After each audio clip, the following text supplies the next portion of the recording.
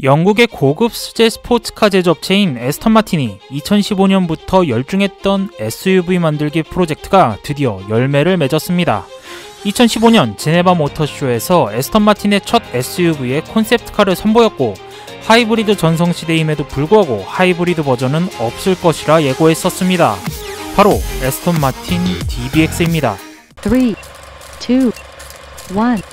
1, 0. 유독 V로 시작하는 이름에 집착을 가졌던 에스턴 마틴이 2015년 DBX의 콘셉트카를 모터쇼에서 선보인 후 2018년에 바레카이라는 이름으로 상표 출원을 했습니다.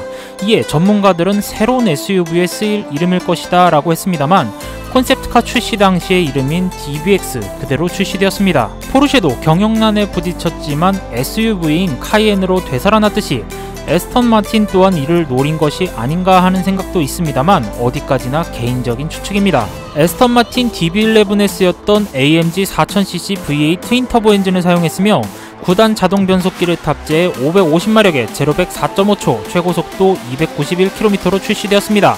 콘셉트카와는 다르게 2도어 쿠페가 아닌 4도어로 디자인되었으며 프론트는 DB 시리즈를 위아래로 늘려놓은 듯한 모습을 사이드와 rear는 밴티지를 위아래로 늘려놓은 듯한 느낌을 받았습니다. 실내 인테리어는 굉장히 정돈된 모습인데요. 이것저것 엄청나게 버튼이 많은 포르쉐 카이엔과 비교를 한다면 옵션이 많이 없나 라는 생각이 들 정도로 단순하네요. 국내 출시가는 2억 4,800만원으로 책정되었는데요.